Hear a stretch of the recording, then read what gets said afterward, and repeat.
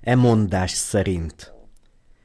Ma, ha az ő szavát halljátok, meg ne keményítsétek a ti szíveiteket, mint az elkeseredéskor. Zsidó 3.15 Ne csapd rá Istenre az ajtót.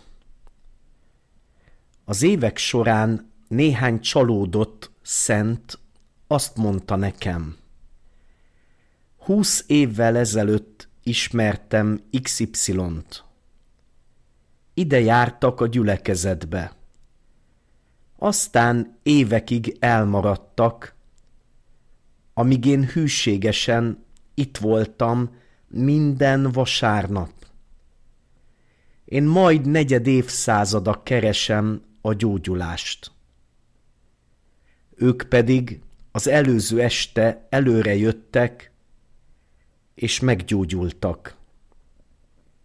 Engem miért nem gyógyít meg az Úr?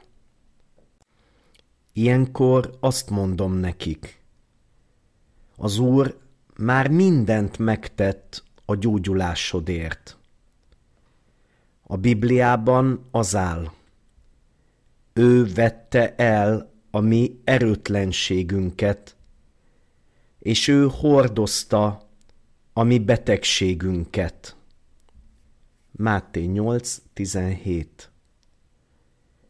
Majd kétezer évvel ezelőtt az atya Jézusra helyezte a betegségedet. Így Jézus már kifizette a gyógyulásodat. A tiéd. Isten már szépen becsomagolta a gyógyulásodat, és ráírta a nevedet is. Csak arra vár, hogy vedd át, ami a tiéd. Ők így válaszolnak.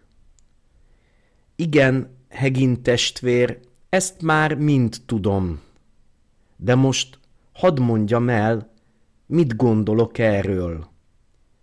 Én abban hiszek, hogy ha Isten meg akar gyógyítani, akkor a maga módján és a maga idejében meg is fogja tenni.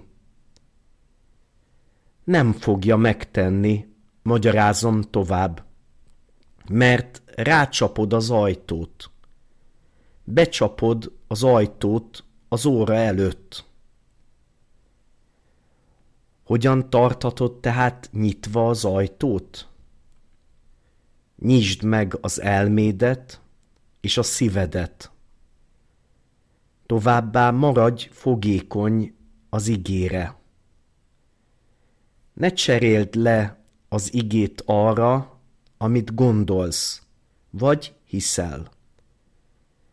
Állapítsd meg, és hidd el amit Isten igéje állít az adott helyzetről.